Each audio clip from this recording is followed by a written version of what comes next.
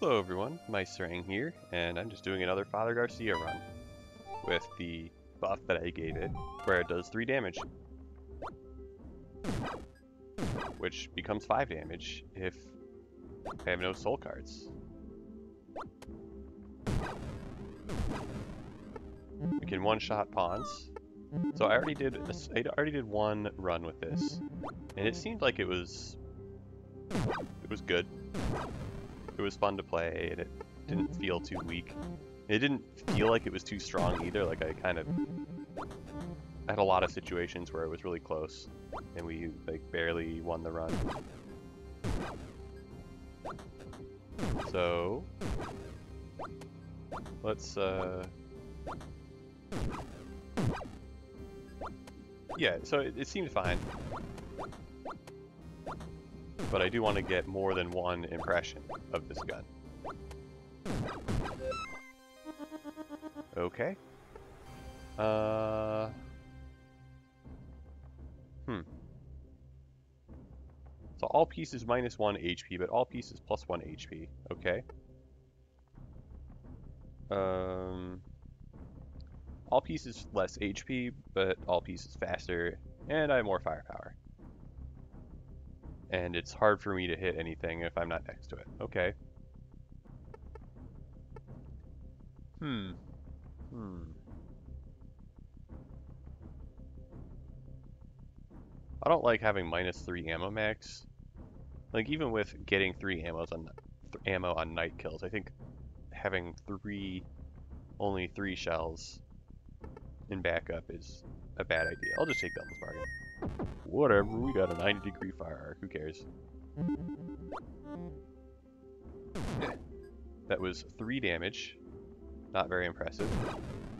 That was 6 damage, okay. So now that I'm adjacent to an enemy piece... Wait, why do knights have 9 health? What? Oh, because they, they lose one third of their health at the start of the round. That's how this card works. Okay. Alright.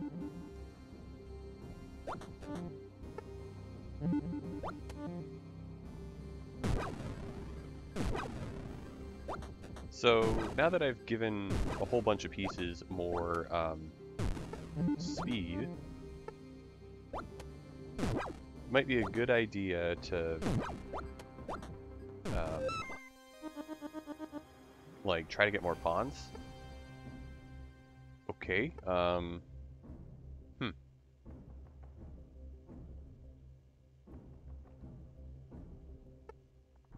Hmm. We'll make pawns slower, but we can't kill them.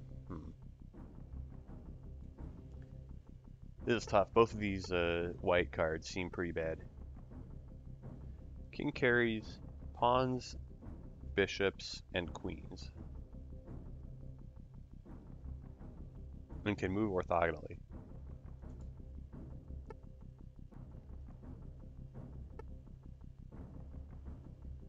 Yeah, whatever. Well, we'll deal with iron pawns. We've done this before. Alright, I want to move right up to this knight. And okay. We can't even we can't even get bloodless coup because uh, we're playing without unmodded cards. Yeah, look at that. We just like cleared out everything before like yeah, before these pawns became even a remote threat. Okay. So, yeah, losing a soul slot and gaining a firepower. Oh, you can take Devil's Bargain multiple times. Okay. I'm not going to do that because I don't want pieces. I don't want bishops and knights moving every turn. That just seems like a recipe for disaster.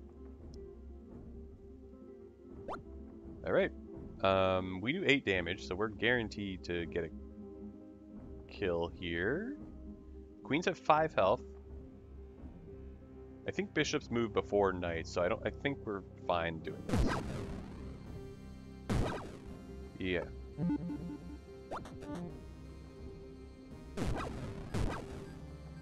Okay.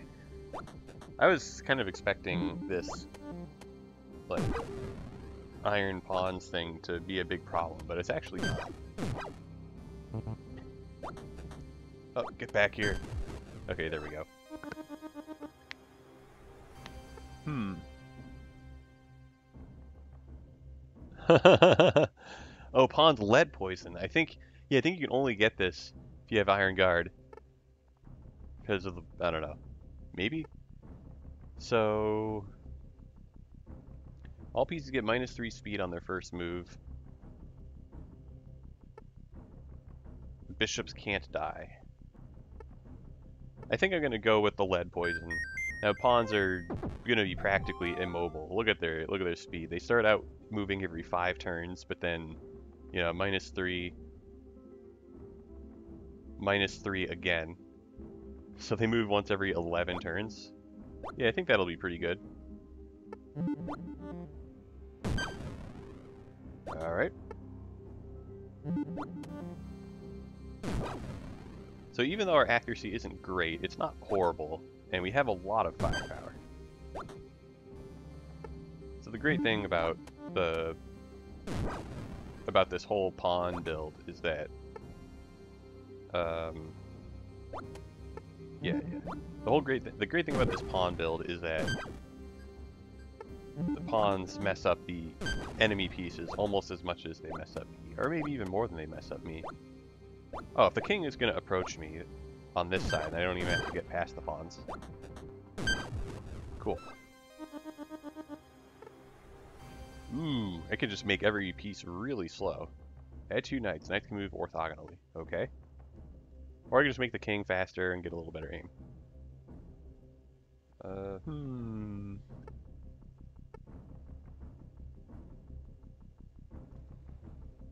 Go, going down to one shell in my gun. All pieces minus three speed, so pawns get another speed penalty. That's funny. You know what, we're gonna do it because pawns moving every 14 turns is probably probably good for me. Um, okay, use my soul card to just get some extra damage. Oh, right. Okay, so if I can get some accuracy boosts over the course of the run, that would be pretty good, mm-hmm. just to make knights a little less dangerous. Alright.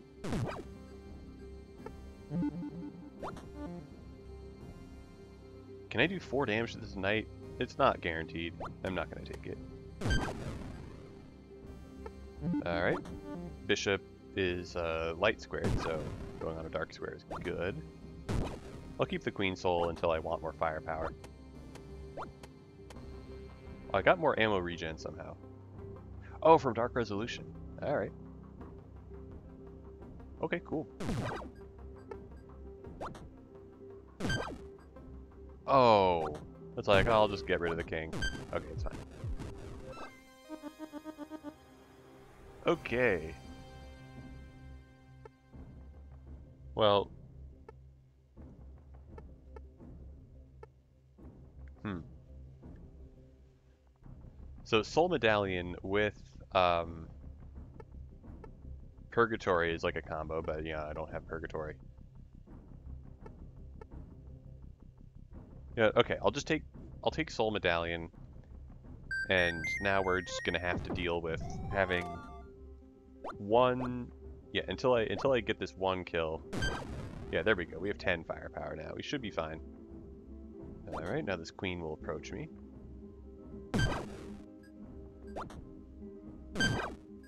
Okay, cool. That's the most damage I can do to the king right now. So the great thing about pawns being invulnerable is I don't have to worry about discover checks when I... Oh, you know, Siege Tower combined with Holy Sanctuary is certainly a nuisance. Let's go here.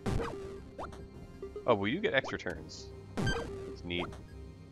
Am I just to be, like, clearing out rooks forever? Like, they take too long to get here. By the time I kill one, another one shows up.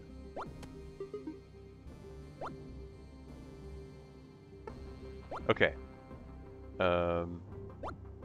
Oh, but queen, the king is slow enough that I can get rid of a rook and then get rid of the king. Okay, sure. Add a bishop every 10 turns. Wow, add a bishop every 10 turns and add a rook every 10 turns? I don't think so.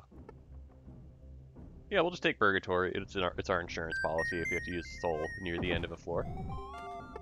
And yeah, I don't care about adding all this stuff on turn 30. Probably should care, but I don't.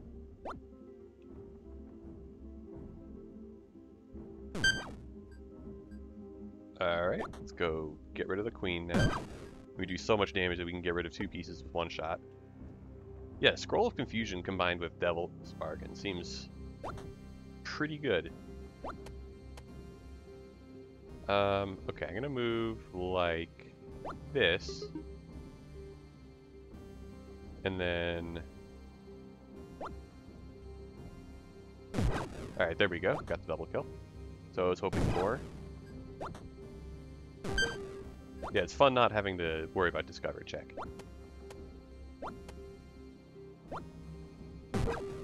And yeah, as long as we can approach... Yeah, we can use a soul card to approach. Okay, if we can win within the next four turns, that'd be pretty good. Aha, just in time. Okay. I think backups coming sooner every time I kill something is going to make Siege Tower plus Holy Sanctuary a little too hard to deal with. So we're taking another Devil's Bargain then, I guess. Pawns are still incredibly slow, but now everything else is going to be pretty fast. Nope, I shouldn't, shouldn't use a soul card yet. Um, oh yeah, I'll just go here. Oh, I thought that... Wait, knights have 10 health? What? How do they have so much health? I guess the 66% HP, it just like sets their HP to, you know, two-thirds of their max HP. So stacking it doesn't do anything, and that's what I'm guessing is going on. Well, in that case, that was not a good combo to take. Yep, because everything has a lot of health. Um, okay. 14? Oh, no, that's not good. Alright. Well, in that case, um, oh, I made a mistake.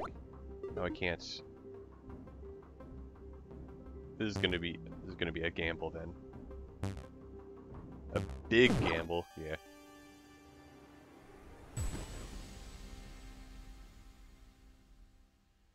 Alright, well, we tried. So, I found a combo that you really don't want to take, which is just Devil's Bargain twice. Oops. Thanks for watching, and we'll see you next time.